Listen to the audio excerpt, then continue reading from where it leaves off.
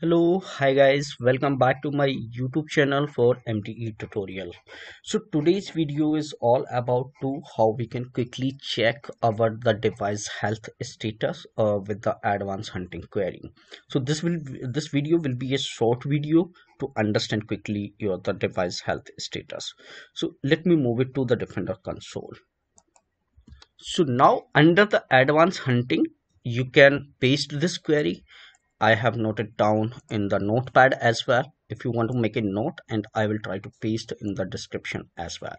So this is the query KQL query which you can paste it in your uh, the advanced hunting part and here you can run that query. So once you execute this query you will get the output like uh, your the device ID your device name and what is the health status whether the antivirus is reporting antivirus enabled so on these devices on this device antivirus is not enabled cloud protection is not enabled but is a uh, cloud protection um, the cloud protection is good for these two devices it's enabled and this is enabled so and the sensor is enabled or not so sensor is enabled for this device uh, all these three devices but the tamper protection is not enabled for this devices so guys you can quickly check your health status by running this query in case you need any specific device so you can just click here and you can put it in the search and put the enter. So you will get the device name.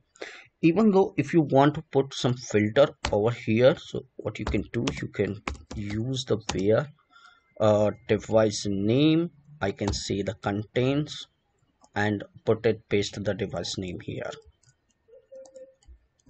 and just remove this. So you can use. And if you have the exact name so you can put it like double equal to and the device name.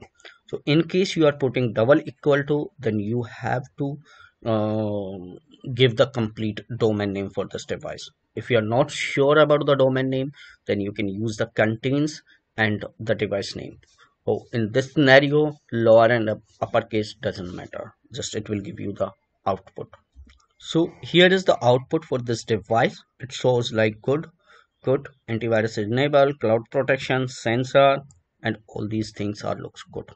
So this is something quick check where you can identify your um, the device health status whether the device is properly communicating with the defender or not so guys thank you for watching this video. I will be creating in the next video about the device completely uh, complete details about the device logs and uh, uh, their security vulnerabilities uh, security recommendations and the actions. So see you soon. Thank you